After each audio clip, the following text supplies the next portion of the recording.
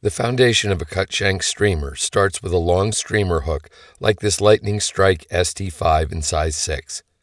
Begin by getting the full bend of the hook firmly secured deep in the jaws of your tying vise. Using a pair of wire cutters aligned with the point of the hook while tightly holding the shank, snip it free from the bend. This can be a little dangerous and eye protection is highly recommended. You should be left with the full hook shank length as well as the eye. If you're using a bead or a cone head, slip it on the shank now, then secure just a small amount of the shank in the jaws of your tying vise. Don't worry about the orientation of the bead or the cone at this point.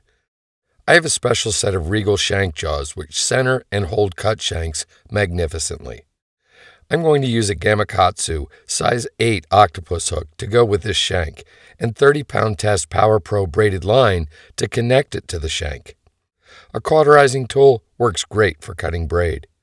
Fold the braid roughly in half and give the folded over end a tight little twist. This will make it much easier to insert it from front to back through the hook eye. You can then feed the bend of the hook through the loop and pull the loop up so it seats around the shank behind the hook eye. Get your thread started on the shank, then form a thread base all the way back to the vise jaws. Pick up the hook braid assembly and leaving about a hook length and a half of braid between the hook and the shank, secure the braid evenly to the top of the shank with tight wraps of tying thread. Then double it back and secure that for a ways before snipping the excess off and binding it down.